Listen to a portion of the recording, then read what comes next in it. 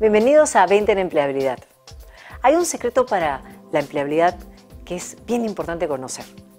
Este secreto eh, lo viene estudiando, por ejemplo, eh, eh, personas en muchas universidades, la Universidad de Harvard y la revista Harvard Business Review, en un número de hace pocos meses, creo que es el de diciembre, reporta varios estudios que se vienen realizando sobre el impacto del carisma, en, nuestra carrera, en nuestras relaciones personales, en nuestra empleabilidad. Y estos estudios mencionan que la manera más directa, más fácil de generar credibilidad profesional, de generar confianza, es primero buscar desarrollar nuestro carisma.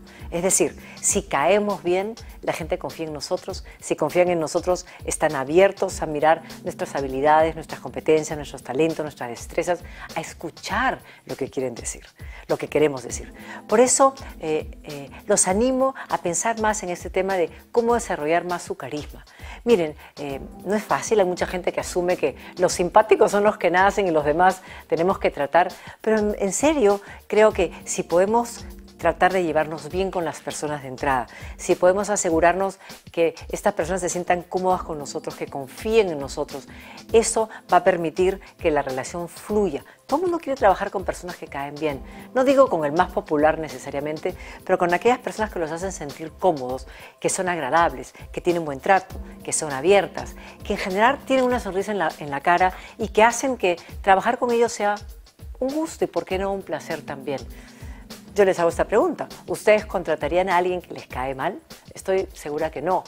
Y claro, evidentemente uno no contrata a la gente solamente porque es simpática o le cae bien, pero tratar de eh, generar confianza o demostrar quiénes somos profesionalmente desde la, perspectiva de nuestros talentos y nuestras habilidades pasa, como dije, por esta confianza. Y la confianza se da cuando la persona es carismática, tiene buena vibra, es positiva, es, animada general cuando se preocupa de generar un buen ambiente alrededor de ella.